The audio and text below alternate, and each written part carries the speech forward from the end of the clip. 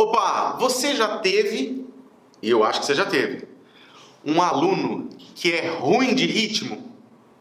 Pois é, na verdade, não tem aluno ruim de ritmo.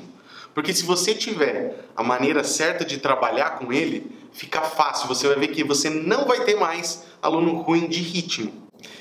E eu vou te falar nesse vídeo como eu faço para que eu não tenha esse problema. Eu não tenho, de verdade.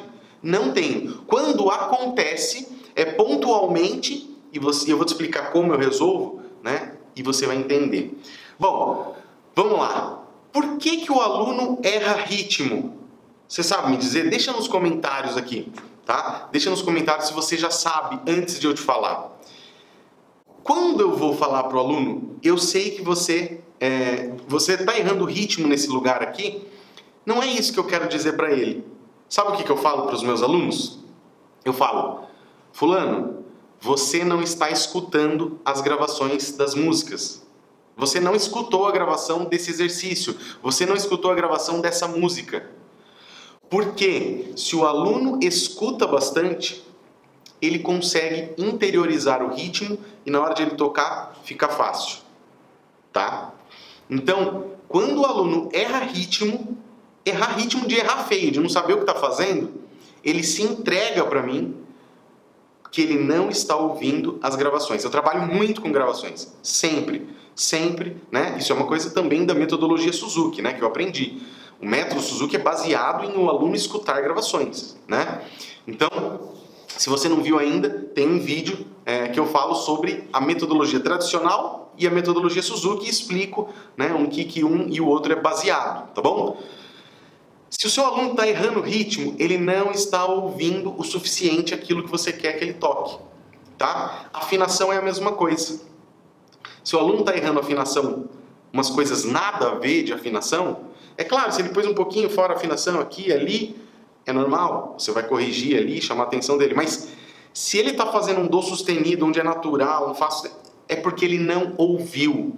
Trabalhe com boas gravações tá? Foi por isso que eu criei lá no canal Dicas para Violinistas, eu criei a playlist Suzuki 1, 2 e 3. Eu gravei todas as músicas, tentei gravar num tempo mais lento, uma outra acabou ficando um pouquinho meio rápido, né? Para que os alunos possam escutar bastante vezes ali, gratuitamente ali na internet. Né? Eu também compartilho gravações com todos os meus alunos, né? O pessoal que é do curso Escola de Professores, onde eu ensino como trabalhar o método Suzuki.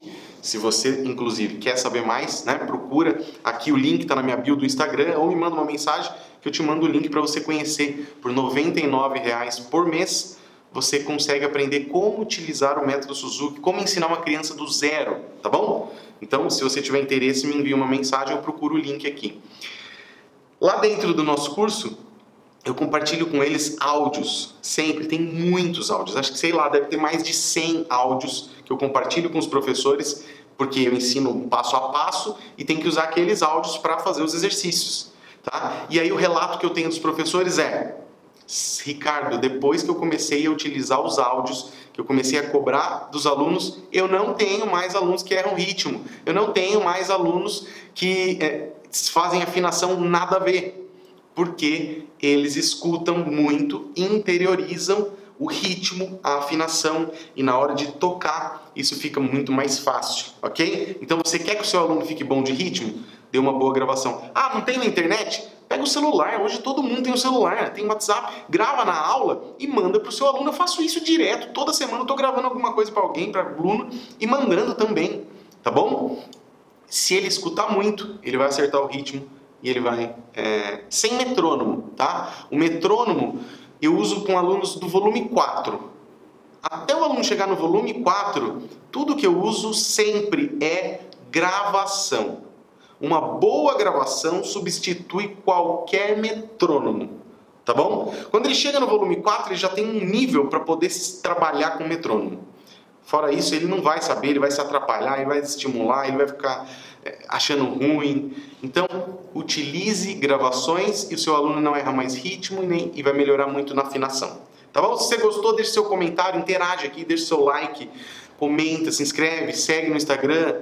Vocês interagem daí, capricha daí, que eu entendo que vocês estão gostando e eu capricho daqui, tá bom? Muito obrigado e até mais.